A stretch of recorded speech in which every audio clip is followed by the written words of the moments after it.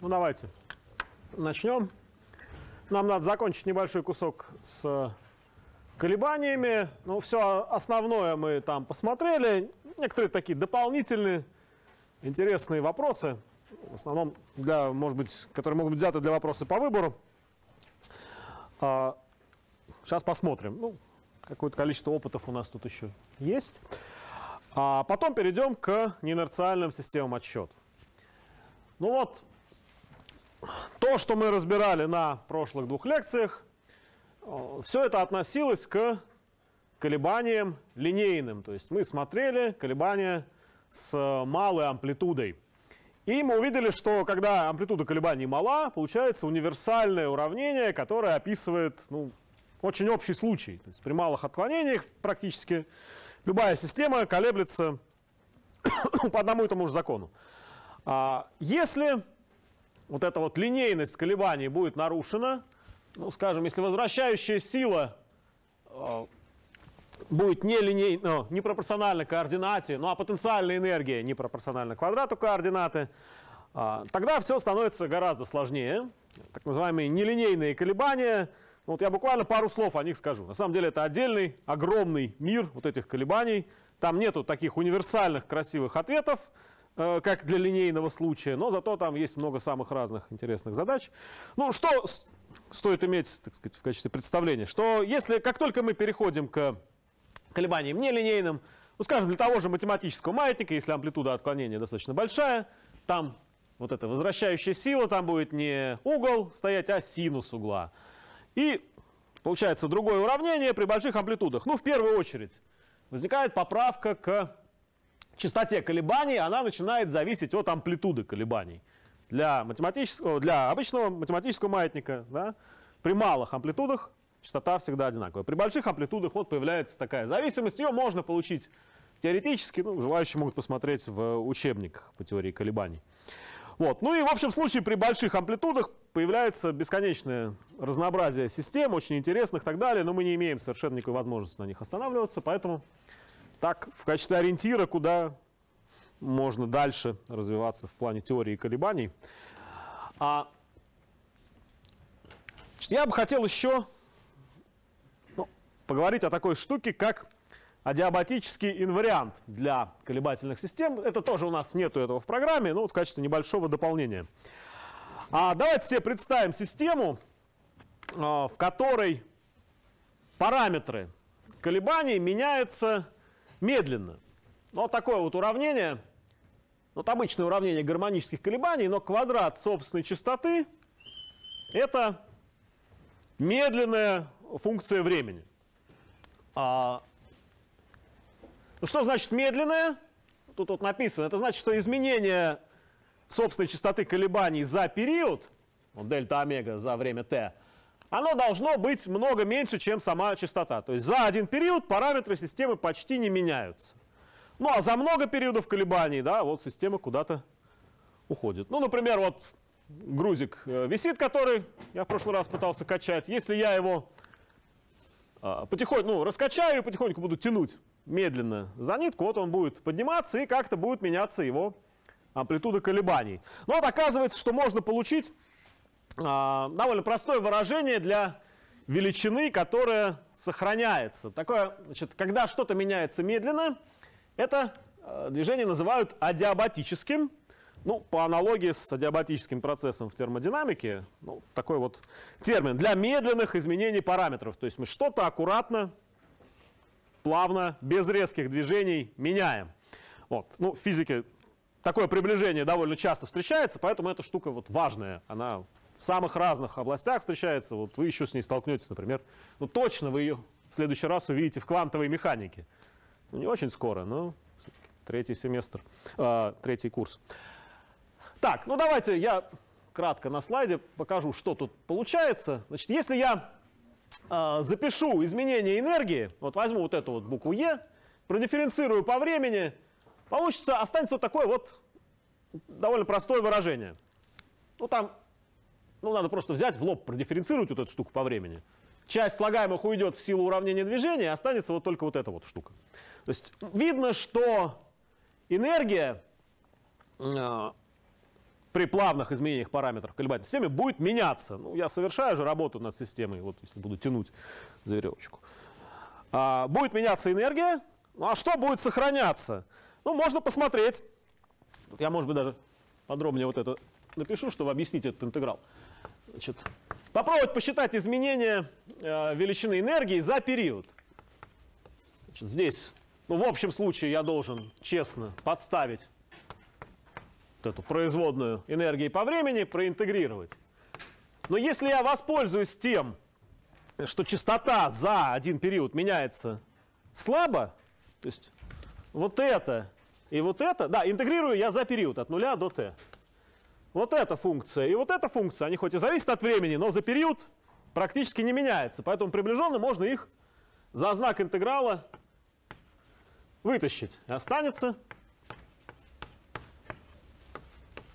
вот такая вот штука. Ну а в этой штуке, ну x квадрат, мне нетрудно узнать потенциальную энергию э, колебаний, ну с точностью до множителя там. Ну, собственно, вот у меня подписано. Значит, интеграл от x квадрат по dt это получится π а квадрат делить на омега. Ну а квадрат пропорциональной энергии, в общем, можно преобразовать это после несложных совершенно выкладок к вот такой вот штуке. Ну или переписать это вот так. Дельта Е к Е за период равно дельта омега к омега за период. А дальше стандартный прием. Мы считаем вот, период, если у нас много колебаний прошло, то а период одного колебания можно считать элементарным отрезком времени. И от вот таких конечных разностей перейти, ну, приближенно, конечно, к бесконечно малым приращениям. Ну, при условии, что у нас время прошедшее много больше, чем один период. А это легко интегрируется. А, что получается, если я проинтегрирую? Слева логарифм энергии, справа логарифм частоты. Переносимся в одну часть, получается логарифм отношения. Ну, будет сохраняться, то есть отношение энергии к частоте получится константа. Вот такой вот, называется адиабатический инвариант.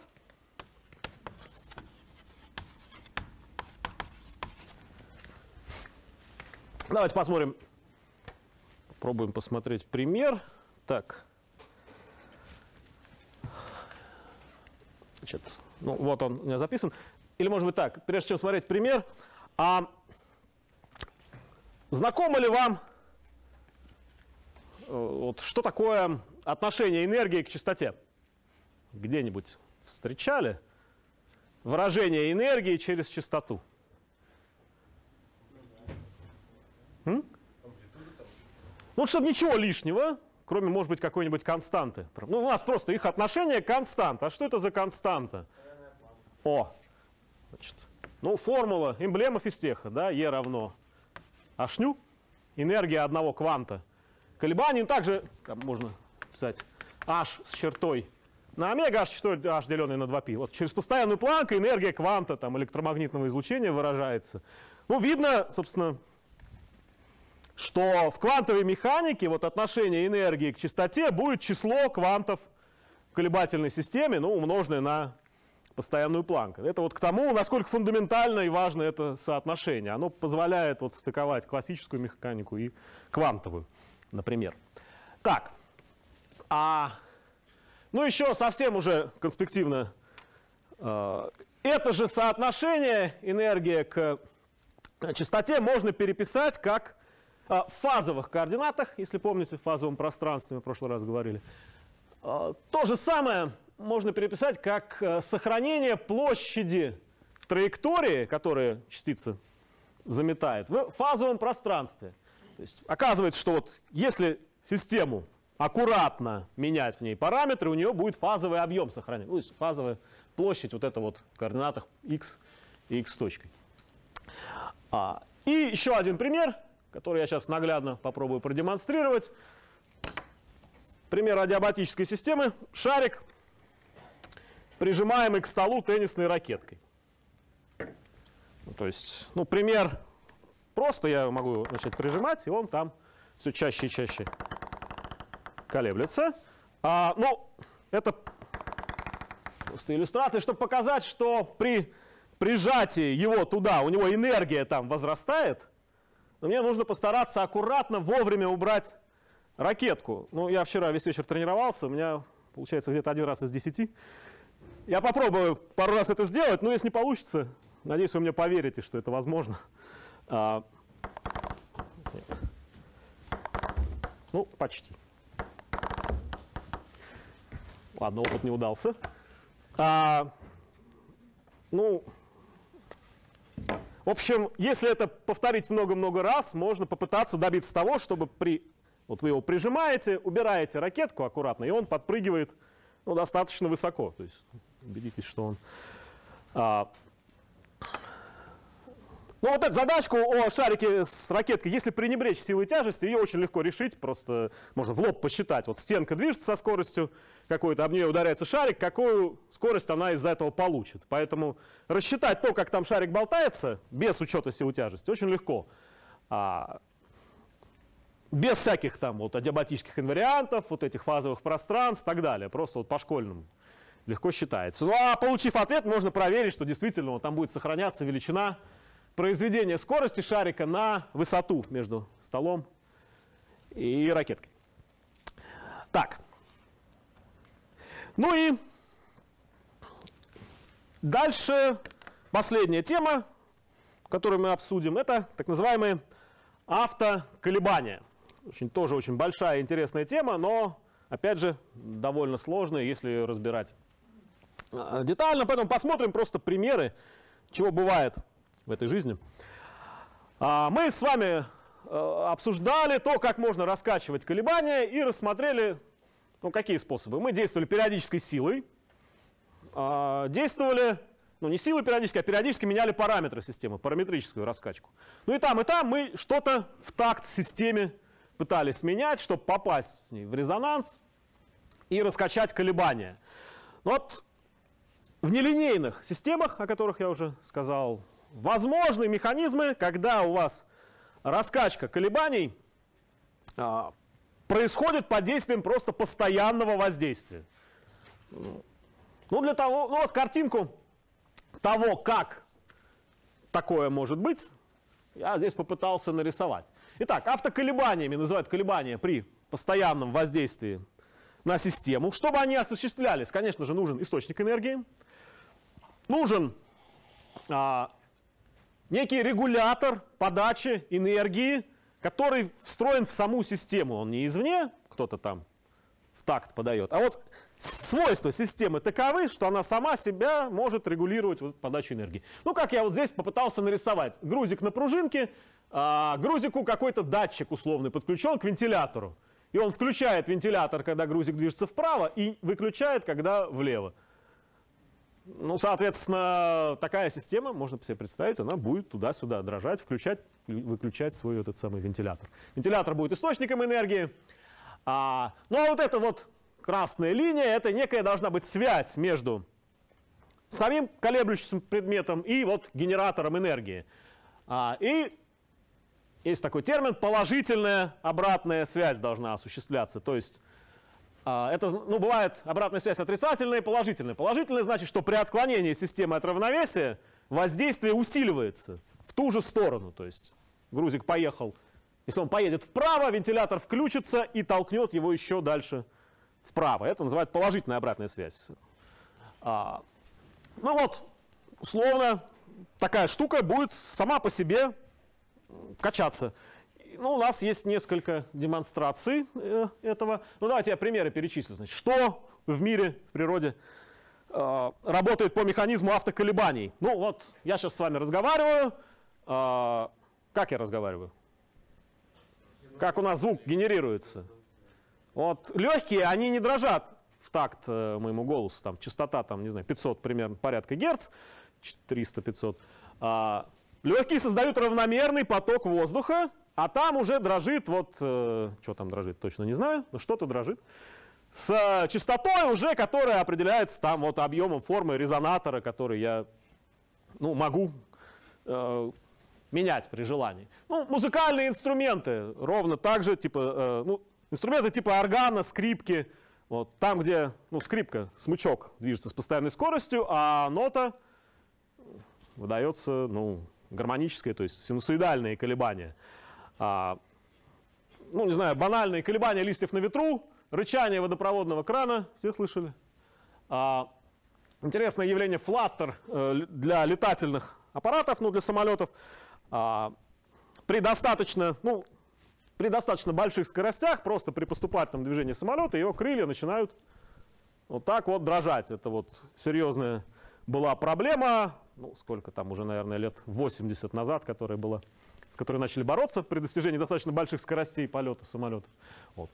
А, ну, исторические два интересных примера. Такомс, а, Такомский мост и а, вот недавний пример Волгоградский мост. Значит, Такомский мост где-то, по в конце 40-х годов, мост, который обрушился а, в Соединенных Штатах. Причем это успели заснять на видео, можете погуглить, найти это видео. А, просто стоял себе мост, и под воздействием постоянного потока ветра под ним он начал вести себя вот как это крыло у э, самолета. Начал вот так вот раскачиваться и в конце концов рухнул.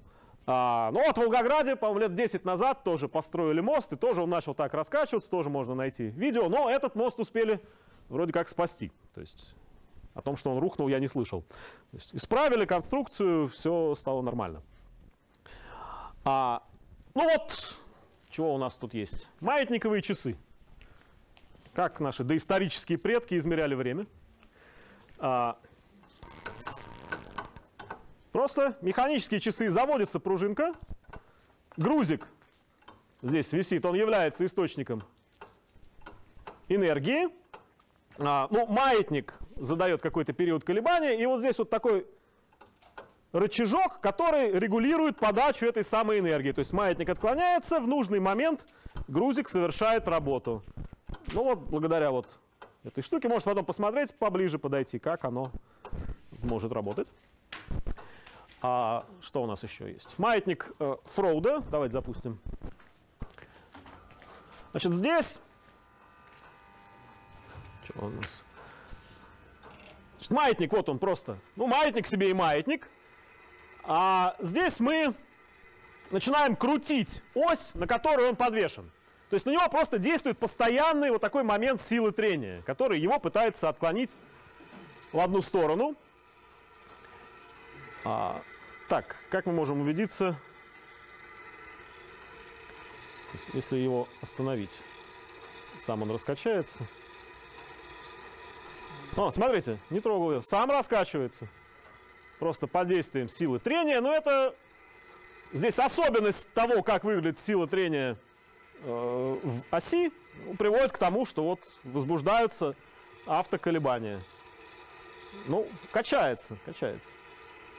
Если его раскачать, он будет сам э, поддерживать свои колебания, то есть затухания в нем не будет, в нем постоянно вкачивается энергия, вот он э, раскачивается. Так, Ну, что еще? На скрипке я вам не сыграю. Я на ней играю чуть хуже, чем играю в настольный теннис. А, давайте я вам сыграю на стакане. Так, сейчас я запущу.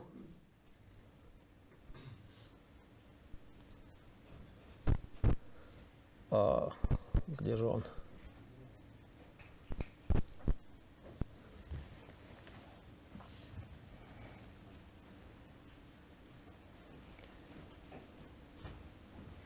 О. Так, ну, не знаю, насколько хорошо это будет видно. Так, камера у нас наедет на анализатор спектра.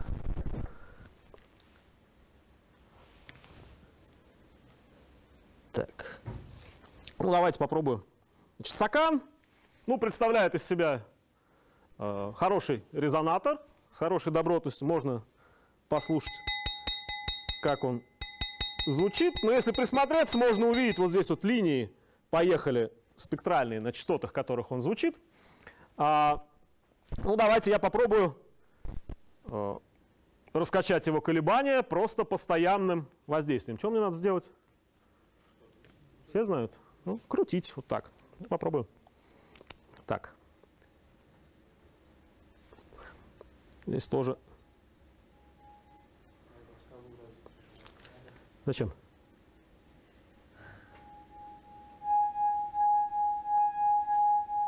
Ну, на спектрограф смотрите, вон она, частота. Пик, видите, 800 там с чем-то герц.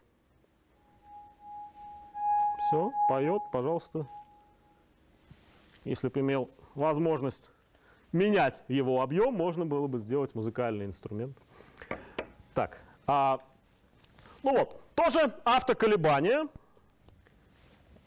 Было постоянное воздействие, и ну вот, благодаря там трению пальца о край стакана и тому, что здесь есть хороший резонатор, который может энергию в себя накапливать, и потом вот он, мы его слышим.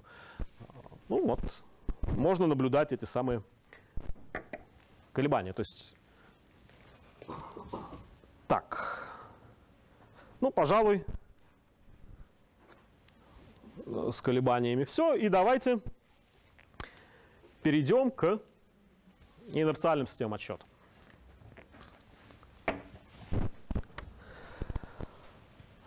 Ну, давайте вспомним, что такое система отсчета инерциальная, прежде чем говорить о неинерциальных. Ну, это мы уже как-то обсуждали. Что является из этого списка инерциальной системой отсчета? Вот. Ну, с одной стороны ничего, с другой стороны все из этого. Вопрос в том, с какой точностью и в каком смысле мы хотим понимать э, ответ. Значит, э, любая из этих систем, она, ну, кстати, какая наиболее инерциальная система из них? Ближе всего подходит под определение инерциальной. Думаете, Солнце? А как насчет кабины свободно падающего лифта? Аудитория. Как, э, значит, что такое инерциальная система отсчета? Какое физическое у нее определение? Кто-нибудь помнит? Значит, это система, в которой в отсутствии внешних сил тела движутся поступательно и равномерно.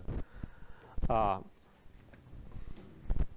ну, соответственно, существуют такие инерциальные системы отсчета, а неинерциальность, ну, можно заметить из одной инерциальной системы, наблюдая за другой. Ну вот кабина свободно падающего лифта, по-моему, здесь наиболее инерциальна в том плане, если вы далеко из этой кабины не будете выходить смотреть, а будете наблюдать только за телами, находящимися рядом с вами, э, ну, вы увидите, что они движутся поступательно и равномерно, если к ним не приложено никакого внешнего воздействия с вашей стороны.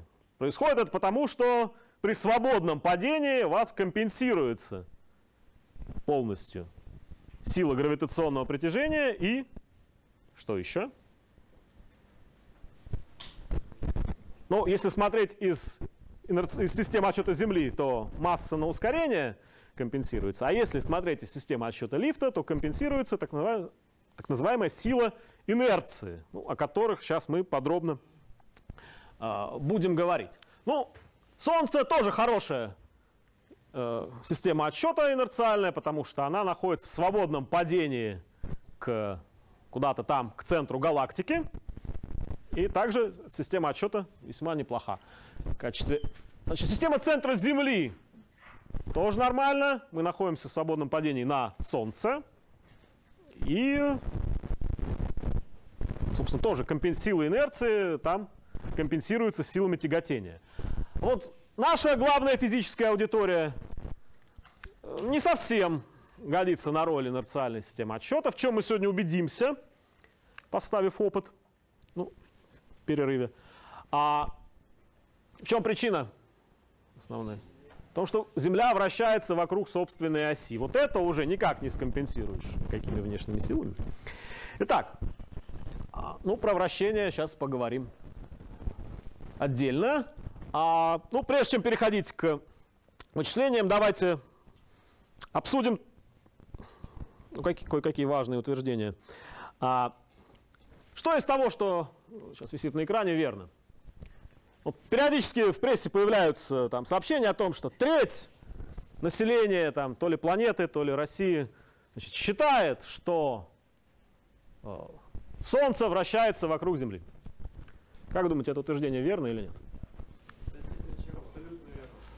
Значит, ну давайте из этих двух утверждений. Солнце вращается вокруг Земли, и Земля вращается вокруг Солнца. Сколько в них верных утверждений? Два. Ну я бы сказал, что ноль. Они оба безграмотно совершенно сформулированы. Выбирать из них я бы не стал. А, давайте исправим их, ну, как-нибудь более корректно их Так-то, в принципе, оба верны, если правильно их сформулировать. А, можем сказать, что, во-первых, Земля движется вокруг Солнца по траектории близкой к окружности. Это будет нормальное утверждение. Говорить, что она вращается вокруг Солнца, немножечко безграмотно, потому что вращение — это вращение твердого тела вокруг какой-нибудь оси.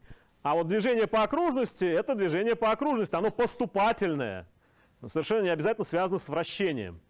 Поэтому, если говорить аккуратно, Земля движется по, по почти круговой траектории вокруг Солнца, Земля вращается вокруг своей оси, ну и Солнце движется, конечно, вокруг Земли. Кто будет отрицать этот совершенно очевидный экспериментальный факт?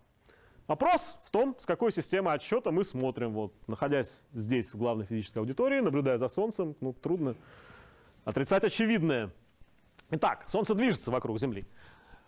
А, ну, если говорить так в целом, э, правильное полное утверждение должно выглядеть как-то вот так, что Солнце находится в центре системы планет, обращающихся вокруг ее центра масс, вот, а планеты вращаются вокруг собственных осей. Вот это вот правильное описание мироустройства вот для нашей Солнечной системы. А спрашивать вот эти первые два вопроса, ну это то ли совсем дурачков вылавливать на улице, то ли наоборот слишком умных, которые ответят, что оба верны или оба неверны.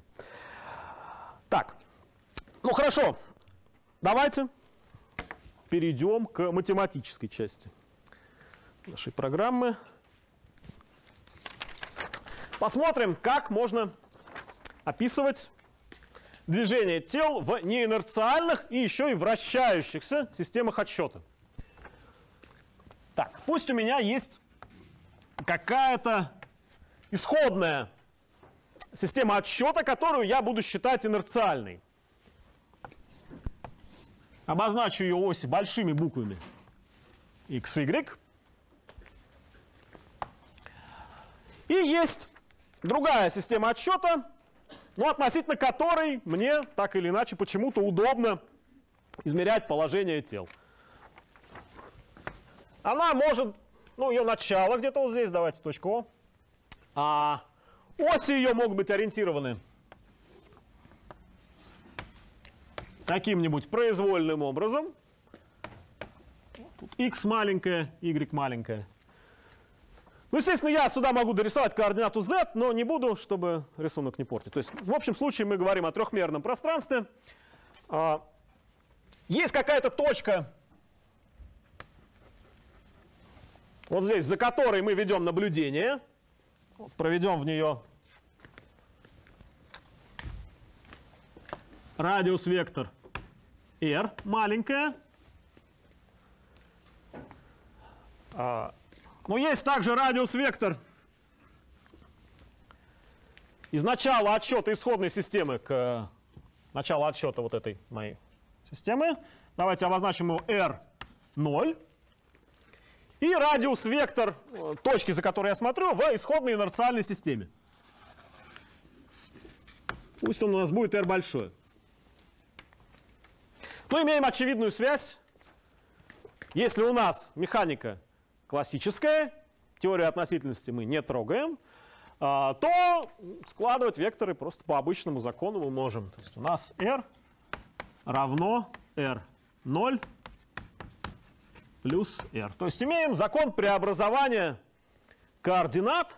Причем, обратите внимание, ну, ничего с ним, с этим законом не поменяется, если эта система движется или даже еще и вращается как-нибудь. Вот давайте нарисуем какую-нибудь угловую скорость вращение этой системы, то есть оси со временем как-нибудь там поворачиваются, сама омега в принципе может даже меняться в общем случае. Итак, на закон сложения координат это никак не влияет. Дальше. Ну, надо переходить к скоростям. Значит, как записать закон сложения скоростей? Ну, давайте попробуем нарисовать скорости Так, рисовать или написать. Ладно, как вы получали закон сложения скоростей из этого равенства? Дифференцирую. Ну, давайте дифференцировать. Но только есть один нюанс при дифференцировании теперь. Что вот этот радиус-вектор, он в, в, э, в инерциальной системе сам движется. То есть даже если точка вот эта покоится относительно системы неинерциальной, а сама система движется, будет производная вот этой штуки. То есть там будет как минимум два, две составляющие. То есть собственное движение в этой системе отсчета. То есть есть какая-то скорость. Так. V относительная. И есть движение этой точки вместе со всей системой. Ну, давайте попробуем это написать. Итак, дифференцируем по времени. Ну, производная r по времени – это просто скорость в инерциальной системе отсчета. Производная от r0 по времени, от вот этого вектора, это будет скорость начала отсчета. Ну, куда-нибудь ее тут нарисую. v0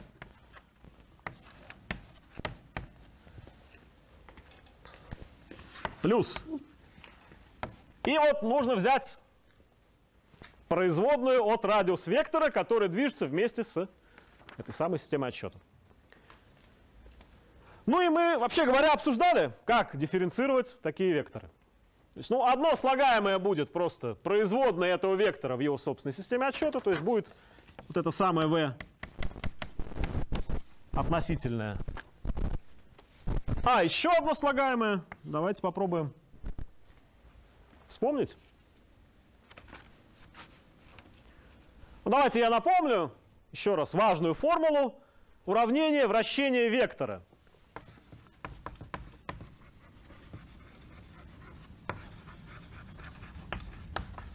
Вот если какой-то вектор, любой, а, вращается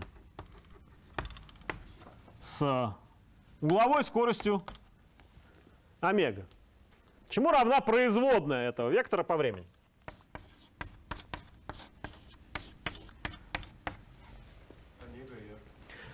Ну там, вообще говоря, два слагаемых. Мы подробно обсуждали вот это вот самое одно. Омега на А. Это как раз вращение с угловой скоростью омега. Ну а еще одно слагаемое это изменение, собственно, его э, модуля, ну, которое можно записать вот так. dA по модулю по dt, там на А делить на А. Итак, что из этого нам нужно дописать наше соотношение? Что нам нужно учесть? Вот изменение самого вектора R относительно этой системы отсчета мы учли. Вот она. V относительно. Надо дописать вращающееся слагаемое омега-r.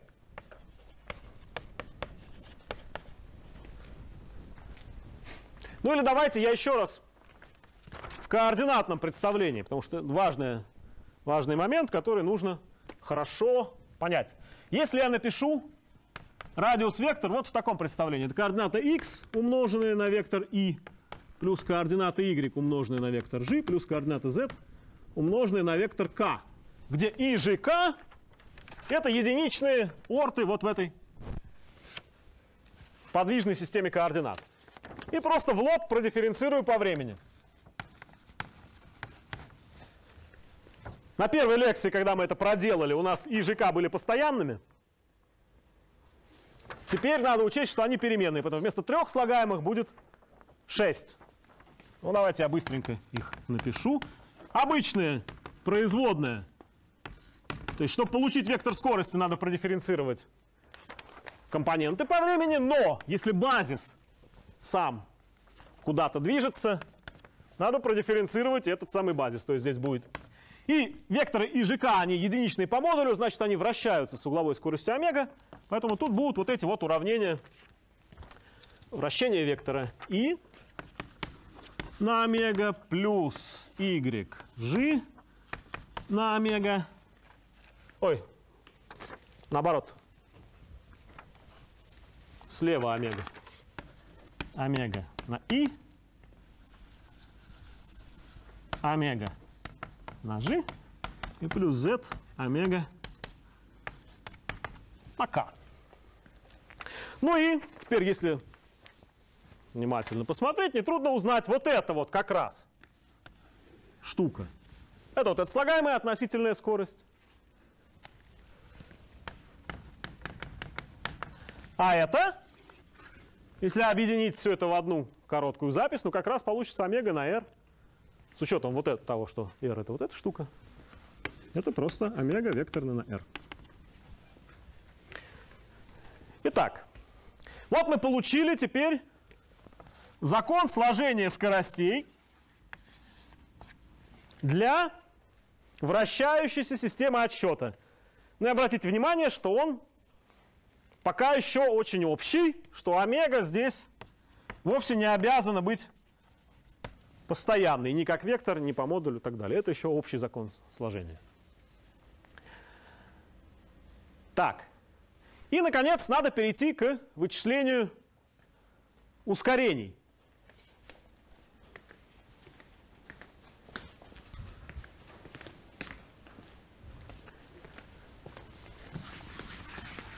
Давайте посмотрим. Ну, чтобы получить ускорение, надо продифференцировать вот эту скорость. Ну, прежде чем делать это алгебраически, давайте прикинем просто по физике делаю. Из-за чего может меняться э, скорость движения, то есть какие составляющие есть у ускорения. Я, может быть, еще раз даже картинку перерисую.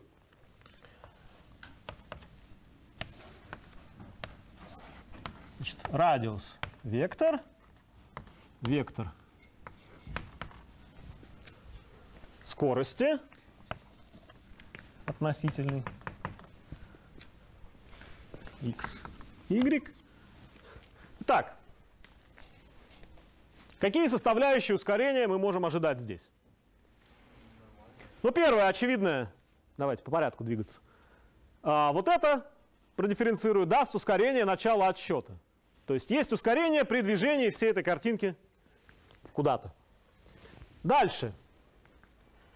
А, Дальше сложнее. Ну, во-первых, просто может меняться сама скорость в этой системе отчета. Значит, будет просто ускорение, ну, ускорение, относительное ускорение. И что еще? Будет сложнее. Если система вращается, что будет происходить с вектором скорости?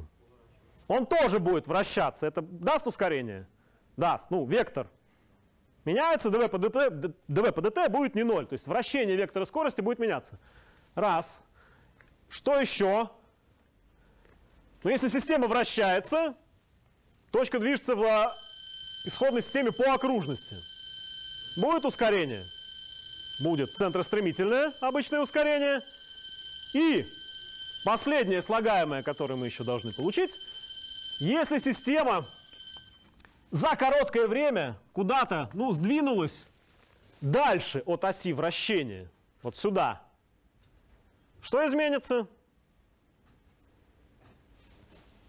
Изменится ее скорость вращения вокруг этой оси. То есть смещение на более дальний радиус приведет к изменению ее вот такой вот скорости вращательной, омега-r. И это тоже будет слагаемое в ускорении. Ну, давайте после перерыва мы проделаем эти выкладки. Итак, дифференцируем вот это соотношение, ну, пользуясь тем же самым правилом дифференцирования, которое мы сейчас применили к, э, при выводе вот этой формулы для скорости. То есть полное ускорение в инерциальной системе отсчета будет складываться из ускорения начала отсчета. Дальше, дифференцируя вот это, мы получаем ускорение относительное. Плюс надо учесть, что в этот вектор скорости вращается вместе с системой. То есть здесь будет v относительно, а, сейчас еще раз, омега на v относительное. Дальше дифференцируем вот это. Там тоже два слагаемых. Вращение вот этого и изменение его по модулю. Ну давайте, по, изменение по модулю это будет омега на dr по dt. Ну, то есть это опять v относительное. И плюс а, вращение вот этого слагаемого. Вот такая будет здесь штука жуткая. Омега на омега на r. Так. И давайте я, можно еще было дальше продолжить слагаемое, еще продифференцировать саму омегу. Но давайте я ограничусь частным случаем, который, собственно, у нас в задачках только и встречается, когда омега постоянно.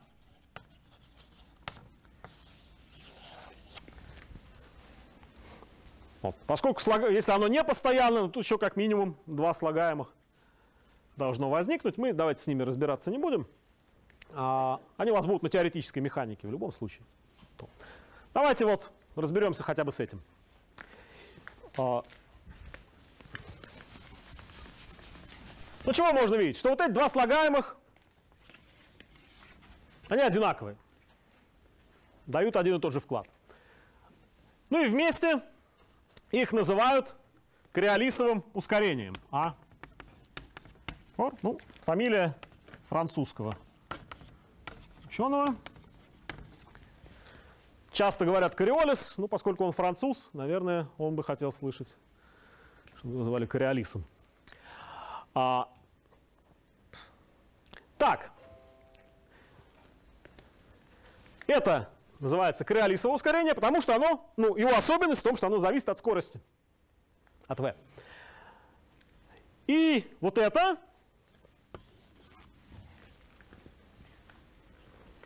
Ну, по размерности это омега квадрат на r.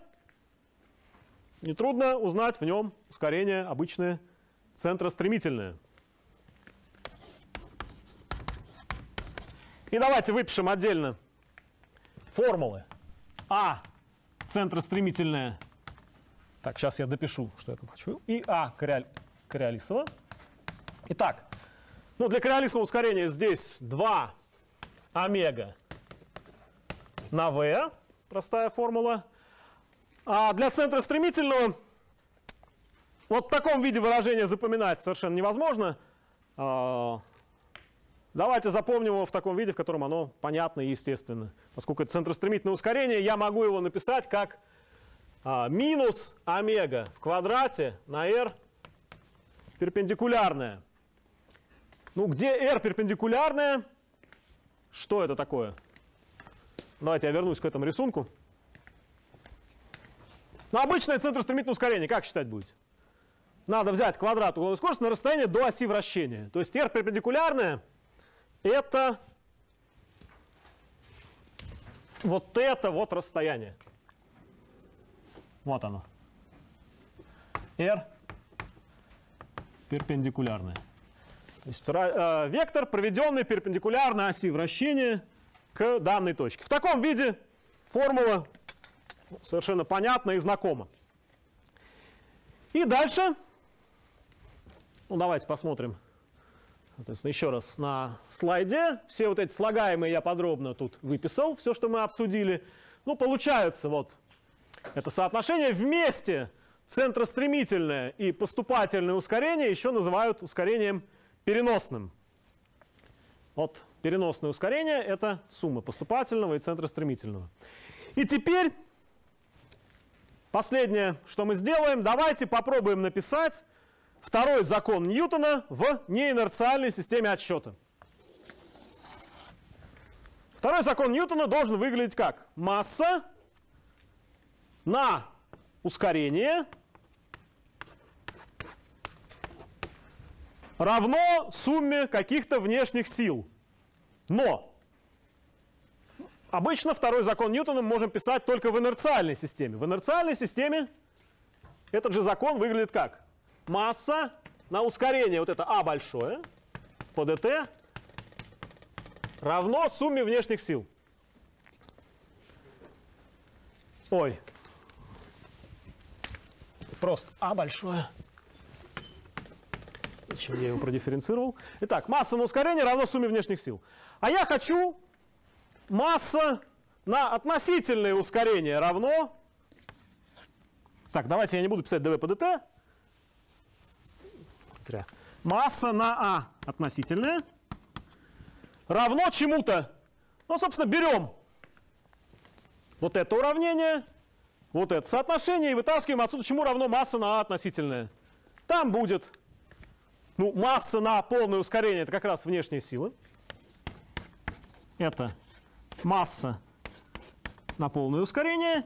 И еще вот кучка из трех дополнительных слагаемых. Минус масса на ускорение начала отсчета плюс масса на омега квадрат r перпендикулярная и плюс 2m v на омега. И вот это мы назовем поступательной силой инерции. Это у нас будет центробежная сила инерции. И, наконец, это будет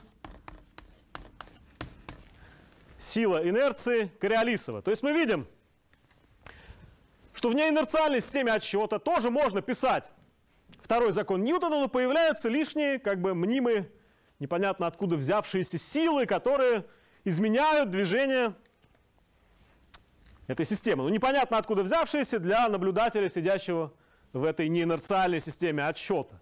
Вот. Для того, кто смотрит за ним из инерциальной системы, все понятно. Это вот эти вот ускорения, которые он испытывает вместе с движением своей собственной системы. Итак, я обещал, что мы сейчас на опыте убедимся, что Земля вращается вокруг своей собственной оси. Значит, какое из этих слагаемых должно нам мешать? Которое, какое можно обнаружить легко на опыте? Вот это можем обнаружить? Нет, мы вместе с Землей с тем же ускорением движемся, то есть с ее центром.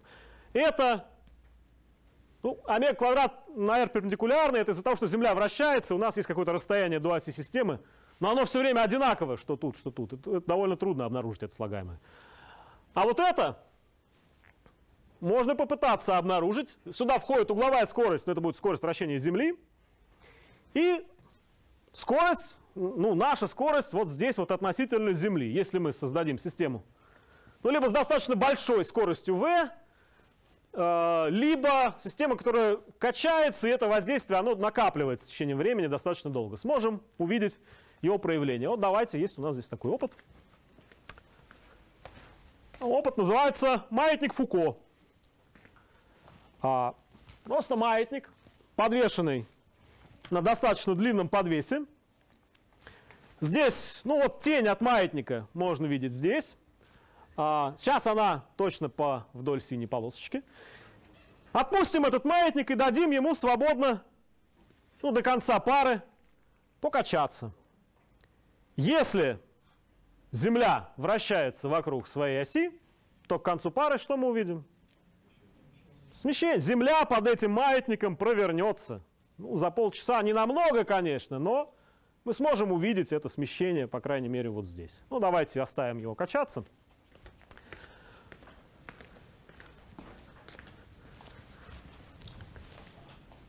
Дальше посмотрим, что мы еще можем обсудить. Итак, ну вот, второй закон Ньютона в неинерциальной системе отсчета здесь еще раз записан. Поступательная центробежная кориолисова сила вместе два слагаемых это переносная э, сила инерции, поступательная плюс центробежная. Давайте посмотрим примеры какие-нибудь разные. А, ну, пример поступательной силы инерции, это всем, конечно, хорошо знаком. Если вы в автомобиле движетесь с ускорением, вас прижимает к спинке сидения. Ну вот, Э, там у вас, по-моему, в задании есть задачка найти изменение периода колебаний математического маятника на ускоряющемся поезде. Если поезд ускоряется поступательно, ну все достаточно понятно. У вас складывается сила МЖ, и вот эта вот сила инерции минус МА начальная. Получается некое эффективное направление от веса, куда действует сумма сил тяжести и силы инерции. Ну, как будто у вас вертикаль в системе стала косая.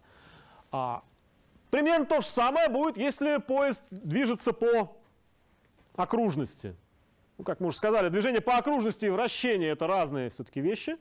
Поезд движется по окружности, вы в нем сидите, у вас возникает ну, та же самая поступательная сила инерции, потому что точка, в которой вы сидите, она относительно Земли движется с ускорением. Вот. Также будет отклонение направления вот, от веса в системе отсчета поезда. И вот такая, по-моему, у вас нулевка там задание есть. Вот я вам ее решил, если вы внимательно посмотрите. Итак, ну дальше, так это мы пропустим, потом сами посмотрите. Это, наверное, тоже сами посмотрите, это к задачке, одно из вашего задания. Чтобы ее не решить случайно неправильно, посмотрите на эти формулы.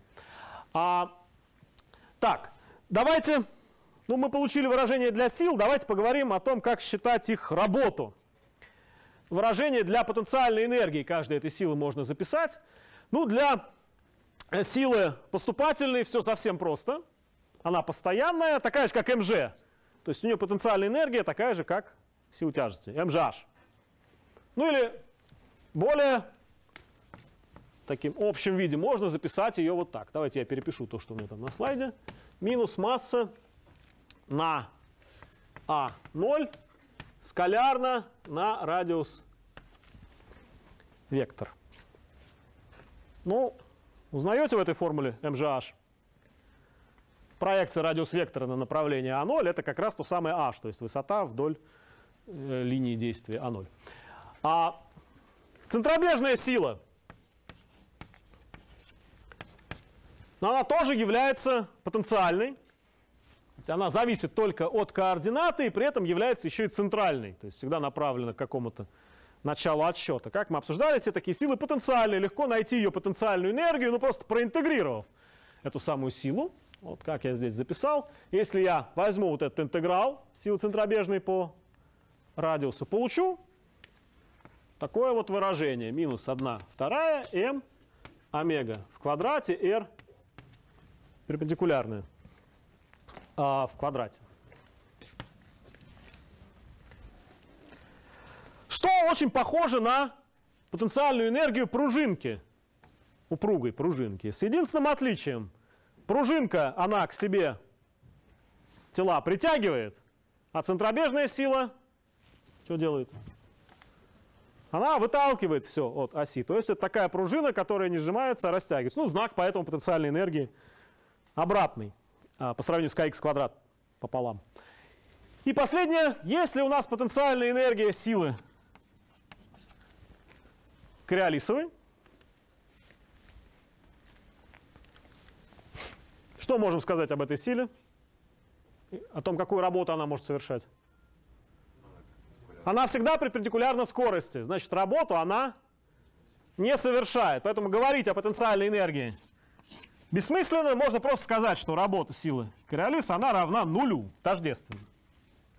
Поэтому вводить потенциальную энергию нет смысла. Ну, такие силы называют гироскопическими. А, еще один пример такой силы, знакомый вам со школы, сила Лоренца, действующая в магнитном поле на заряд. Она ровно такую же структуру имеет.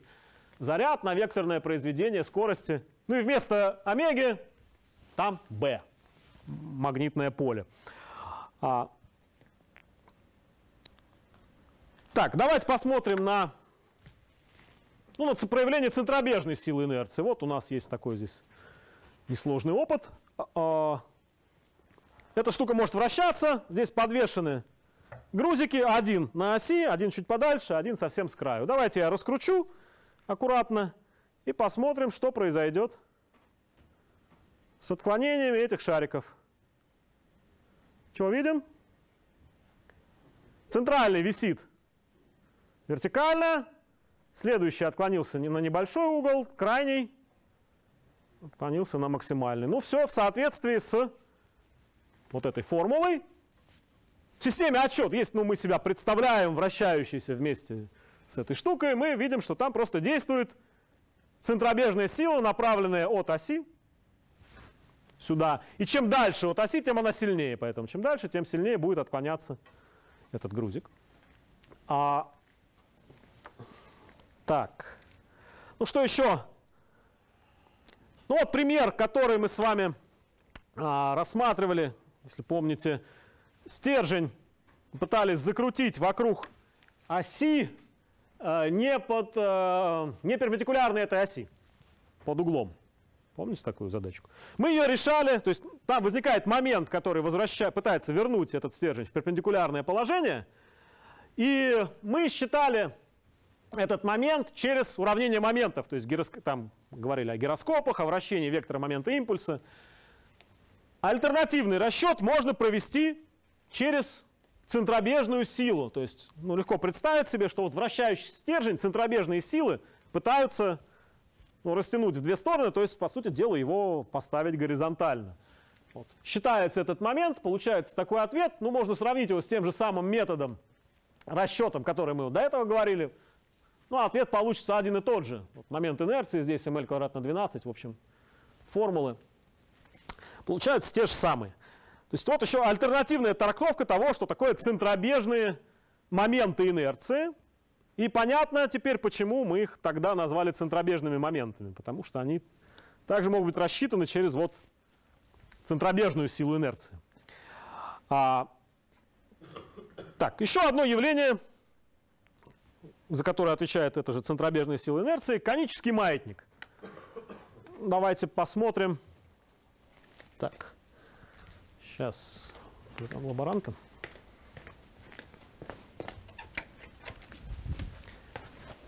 Ну, пока я просто попытаюсь запустить. Значит, просто висит э, ну, некий груз. Я могу его запустить. Э, попытаюсь запустить его так, чтобы он описывал окружность вот здесь. Ну, как-то вот так получается какой-то эллипс. Ну вот, это примерный пример конического маятника. Вот так вот он качается. Ну, уравнение равновесия Тут у меня на слайде для стержня такого же. А, определяется чем? Балансом момента силы тяжести в системе отсчета, вращающейся вместе с этой штукой. И а, моментом сил центробежных. Ну, здесь, чтобы их посчитать, надо там разбить на кусочки, проинтегрировать, получить полный момент. Вот равенство моментов дает условие на угол отклонения. А, вот здесь. Ну, давайте посмотрим что-нибудь. Так. Здесь у нас еще, кроме того, что я могу сделать просто этот конический маятник, я еще могу вращать вот эту вот подставку, то есть как бы помещать эту штуку в неинерциальную систему отсчета. Давайте посмотрим, какие могут быть траектории. Вот просто маятник запустил и раскрутил систему отсчета. Посмотрите, какие красивые картинки он вырисовывает. Примерно то же самое делает вон тот вот маятник Фуко, только в очень замедленном режиме. Вот картинка, да, получился лепесток. Ну, можно какие-нибудь другие параметры задать. Разное соотношение между угловыми скоростями, скоростью качания. Ой, что-то он затрясся. Ну вот, пожалуйста, рисует теперь звездочку. Значит, это, если смотреть из системы отсчета, вращающейся вместе с этой рамкой, это будет прямое проявление действия уже какой силы? Это кориолисовая сила, то есть она искривляет траекторию движения тела, ну, так же, как магнитное поле искривляет траекторию движения зарядов. Потому что эта сила всегда перпендикулярна скорости, ну, соответственно, траектории. Какие будут траектории под действием а, силы Кориолиса. Давайте посмотрим на слайде. Если я оставлю только одну Кориолисову силу, остальными, допустим, можно пренебречь, или они равны нулю вообще. А, получится вот такое вот уравнение движения. Смотрите. Ускорение dv по dt равно вот v на 2 омега. То есть вот просто равно силе Кориолиса. Масса сократилась слева-справа. Как вы думаете, какое решение у этого уравнения? Ну, поскольку а, сила вот эта справа, она всегда перпендикулярна скорости, Как движутся тела, когда на них действует сила перпендикулярной скорости? По окружности. То есть действительно решение этого уравнения можно это аккуратно э, написать по координатно, ну, векторное произведение раскрыв. Оно будет движением по окружности. Ну, вектор v, кстати, это же еще и уравнение вращения вектора v с угловой скоростью 2 омега. Вот вектор, угловой, э, вектор v вращается с угловой скоростью 2 омега, траектория, окружность, радиус можно посчитать. Аналогичная задача решается для магнитного поля. Для силы Лоренца есть тоже радиус окружности, по которой там все заряженные частички вокруг магнитного поля движутся. И частота, ну, называется ларморовский радиус, циклотронная частота. Вот эти формулы. Ну, в теории электромагнитные, они весьма важны. Но это у вас будет на втором курсе.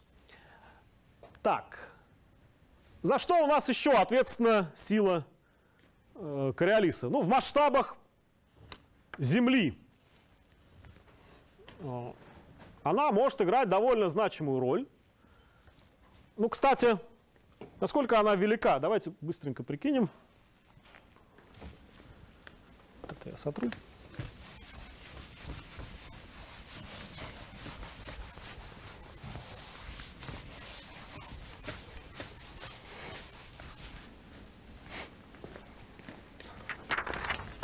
Угловая скорость вращения Земли. Ну, наверное, картинку тоже нарисую. Вот есть Земля. Ну, если мы, как жители северного полушария, смотрим на эту Землю издалека, мы видим угловую скорость вращения Земли, направленную от южного к северному полюсу. А, значит, тут у нас восток, тут запад –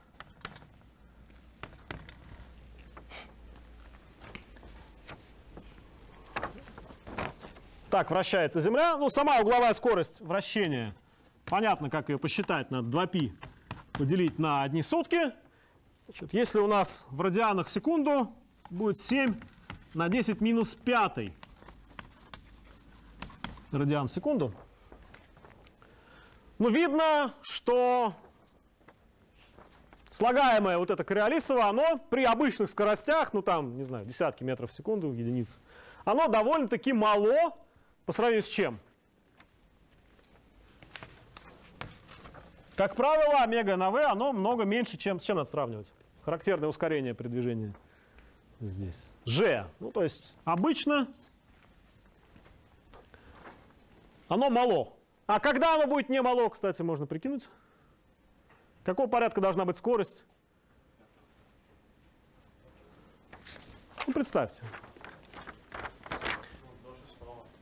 Угу. Ну, то есть там должны быть что, километр, десятки километров в секунду. То есть это уже к первой космической она должна приближаться. То есть пока мы еще не выходим на орбиты вращения вокруг Земли, у нас сила Кориолиса мала.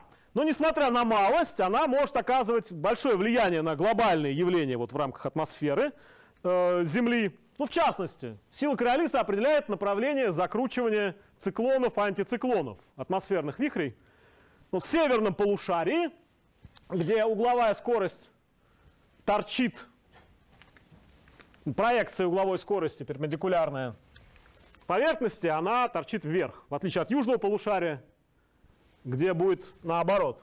Проекция угловой скорости отрицательная. Но там, где у нас проекция угловой скорости положительная, цик, а, а, циклон – это область пониженного давления в центре, значит воздух стремится а, сойтись к центру, Сила Кориолиса при этом его закручивает вот э, туда против, да, против часовой стрелки. Антициклон – это область повышенного давления, ну, соответственно, вихрь крутится наоборот. Ну, вот здесь примерные оценки порядков величин. Если взять характерный градиент давления в атмосфере, там 1 паскальный километр, получится характерная скорость ветра 15 метров в секунду, что вполне, как вы понимаете, укладывается для стандартные значения.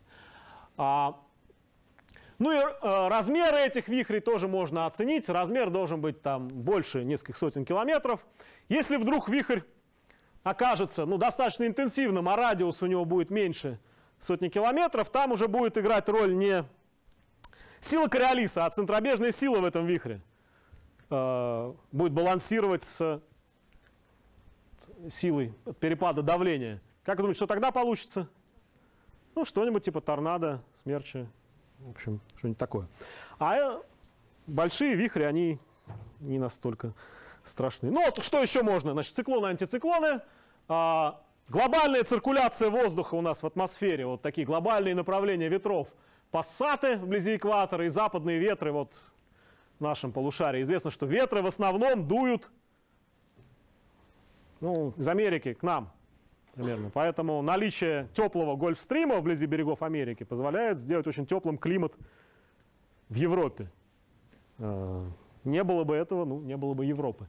А размытие берегов рек, когда они текут, то есть левый правый берег может размываться по-разному. А закручивание воды в раковине, как вы думаете, влияет сила Кориолиса? Кориолиса? Нет, ну слишком маленькие там масштабы, ну вот ускорение там ну, вот очень маленькое. Это популярный миф. То же самое время самолета в пути. Влияет ли сила Кориолиса при движении? Ну, там, не знаю, самолет летит из Москвы в Новосибирск и обратно. Известно, что время полета реальное, оно там на час отличается. 4-5 часов туда-обратно. Это сила Кориолиса виновата или кто? Вращение, это из-за вращения Земли происходит эта разница или нет? Ну, в каком-то смысле из-за вращения Земли но все-таки не действующего непосредственно на самолет, а, а из-за этих самых западных ветров. Ветер в основном дует отсюда туда, поэтому лететь в Новосибирск быстрее, чем э, лететь обратно. Но это не из-за того, что сила Кориолиса действует на сам самолет. Она на ветры действует, а самолет, понятно, против ветра ему лететь э, как бы сложнее. У него скорость относительно воздуха набирается. Поэтому эти два мы вычеркнем. Так, ну как доказать у нас вращение Земли? Опыт, так, наверное, еще не готов. Подождем э, конца. Ну, пока вот краткое объяснение того, что там происходит. А, маятник качается туда-сюда. А сила Кориолиса действует ну, перпендикулярно скорости. Ну и вот, скажем, при движении вот справа налево, если у меня угловая скорость торчит из рисунка, возникает сила перпендикулярна этой траектории. Ну, видно, что за один пролет она отклоняет его, ну, в какую-то вот сторону своего действия. Да? Может показаться, что при движении назад, ну, сила будет примерно такая же, только направлена в другую сторону, да? Значит, назад он может просто вернуться по той же самой траектории. Так, нет? Не по той же, если аккуратно нарисовать. То есть назад, ну, сюда мы закрутили вот в эту сторону, когда будем возвращаться назад, закрутим сюда, и в итоге будет смещение. То есть получается, что вроде как периодическая сила одинаковая, действующая туда-сюда, приводит к постоянному смещению. А помните, мы обсуждали задачку в самом начале. Если я буду возьму груз на пружинке и начну его периодически туда-сюда толкать, что с ним будет происходить? будет периодически болтаться. По-моему, одна из первых задач задания даже была про это. Он поедет с поступательной скоростью в сторону того, э, куда я начал его толкать. То есть периодическое движение еще не значит, то есть периодическое воздействие еще не означает, что движение будет полностью периодическим. Так, ну примерно так же и здесь. То есть будет вот это вот смещение плоскости качания, которое ну, совсем легко понять, если представить себя на Северном полюсе. Если этот маятник подвесить на Северном полюсе, он просто качается, сохраняя свою плоскость качания, поскольку он подвешен за одну точку просто. Да, а под ним Земля прокручивается. Вот и все. Значит, на северном полюсе эффект этот будет максимален, а на экваторе опыт с маятником Фуко ставить бесполезно. Там, ну, там проекция угловой скорости на нормальное направление будет нулевая. Значит, на экваторе невозможно обнаружить вращение Земли. Что, кстати, довольно парадоксально. Да? Точка, вращающаяся с наибольшей скоростью на Земле, экватор. А там вот вращение Земли необнаружимо. А, ну, если только не измерять ускорение свободного падения. Ну, давайте про измерение ускорения свободного падения. Для той же самой Земли. Значит, что такое, собственно, ускорение свободного падения, которое мы можем наблюдать и измерять.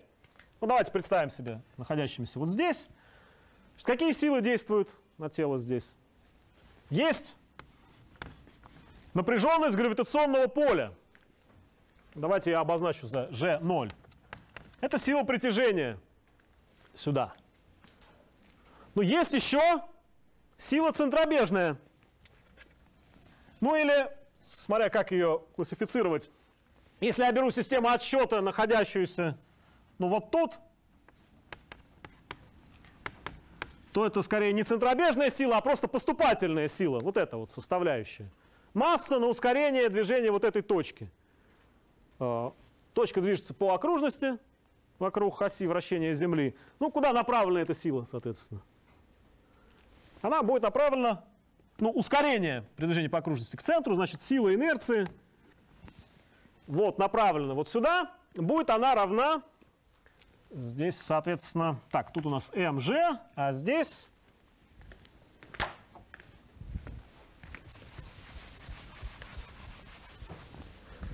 Здесь будет m омега в квадрате на вот это расстояние. А, ну, то есть это радиус Земли на, что там у нас? Ну, если я введу широту фи, э, соответственно, это на синус, да? Сейчас. Радиус Земли на косинус широты, да. Ну и опять же, мы видим, что хотя а, r довольно большое, все-таки омега в квадрате тоже окажется много меньше, ну вот омега квадрат r, тоже нетрудно посчитать, оно окажется много меньше, чем g. Ну, порядок величины, давайте я посчитал заранее, ну, это у нас 9,8, а это у меня получилось 0,003, вот так. Тут 9,81 на нашей широте. А вот эта поправка в... Ну, то есть во втором знаке после запятой. В принципе, измеряя, получается, ускорение свободного падения на северном полюсе, на экваторе, ну, можно действительно обнаружить также вращение Земли, увидеть, что, э, ну, вот это слагаемое обнаружить. А так, когда мы здесь проводим опыты какие-то по падению тел, ну, реально мы меряем некое G эффективная, ну, которая получается в этой картинке просто по сложению вот этих векторов. То есть вот G эффективная, которая действует на все тела, падающие вот здесь. Ну, это сумма а, гравитационного притяжения и центробежной силы инерции. Так.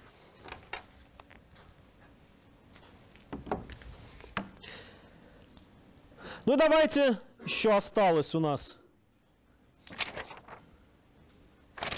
5 минут. Давайте посмотрим на то, как действительно тела а, падают по вертикали. Здесь, то есть посмотрим на отклонение падающих тел от направления отвеса. Значит, направление отвеса у нас вот оно. Куда направлено эффективное ускорение свободного падения. Ну давайте запишем Уравнение движения падающего тела. Итак, просто смотрю опыт. Вот, падает мелок по вертикали. Чего на него действует? Итак, а, отклонение от направления от веса. Ну, от веса это какой-то грузик, подвешенный на ниточки, вот он, подвешен здесь, он смотрит по этому самому вдоль эффективного же. Ну, пишем уравнение. Масса на ускорение равно, вот здесь у нас mg эффективная, и плюс что еще? Если у нас высота падения не очень большая, то мы можем считать вот это же эффективной константой.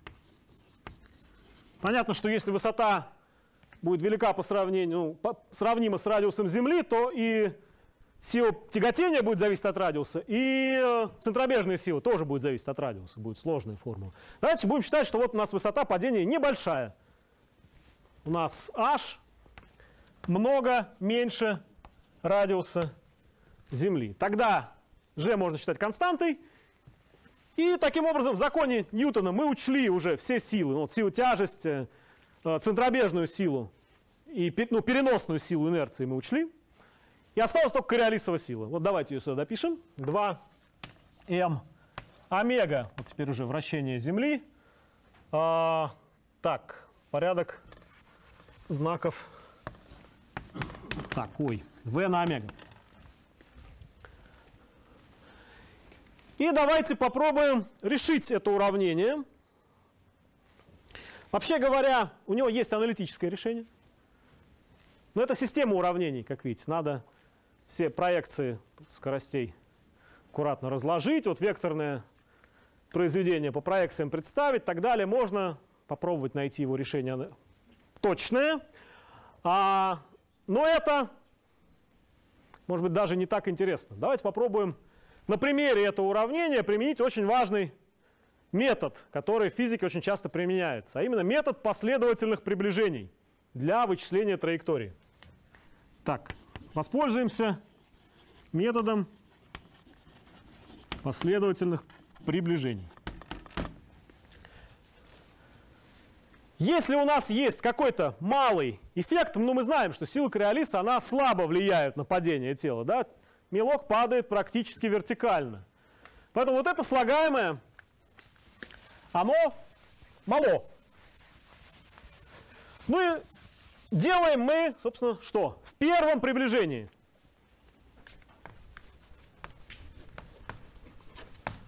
Мы считаем, что его вообще нет, этого воздействия. То есть у нас просто уравнение. Итак, первое приближение. Масса на ускорение равно m g. Ну давайте я индекс этот эффективный писать уже не буду, понятно. Вот она у нас g. Решение этого уравнения. Ну легко записать. v. Давайте я индекс поставлю, что это решение в первом приближении. Вот так вот v1 равно ну, обычное уравнение падения тела, тела в поле тяжести. Скорость меняется. Там есть начальная скорость плюс g на t, вот в векторном виде. Теперь, так падает тело практически вертикально. Теперь давайте искать поправку к этому движению. Пока оно падает вертикально, на него действует сила Кориолиса и приводит к какому-то отклонению. Давайте посмотрим. Второе приближение. Что мы учтем? Ну, берем то же самое уравнение. Давайте я так напишу. Что представим себе, что скорость, она представима в виде суммы вот этого первого приближения, плюс поправка, которая будет у нас приближением вторым. Ну, где вот v, вот эта поправочка, она много меньше, чем v исходная. Давайте подставим вот эту скорость вот сюда. Получим m. Так, я закончу.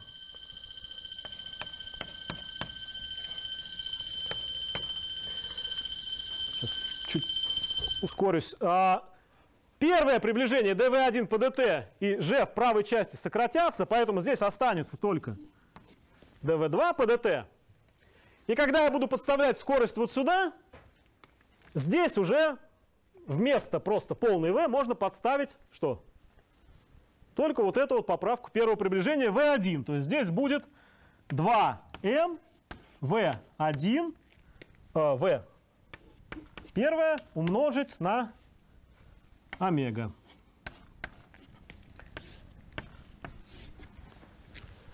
Ну и это соотношение тоже по времени легко интегрируется. Несмотря на то, что здесь стоит векторное произведение, оно ничем не мешает проинтегрировать это дело по времени и получить поправку к скорости движения. Ну, надо просто взять Давайте я в виде интеграла напишу. А, собственно, что тут интегрировать-то? Значит, интеграл от этой скорости э, здесь будет v0 на t плюс gt квадрат пополам. И это векторно умножается на омега. Тут 2, двоечка останется. Ну вот так. Давайте мы это оставим. При желании дальше можно получить координату смещения, еще раз по времени проинтегрировать, по проекциям разложить и так далее. Но у вас будет задачка об этом в задании. Вот я здесь остановлюсь, и давайте нам надо посмотреть, вращается ли Земля все-таки. То, может, мало ли, врут в Академии наук. Так, ну что, видим отклонение? Вполне. За полчаса мы сместились на 6-7 градусов где-то. Ну все,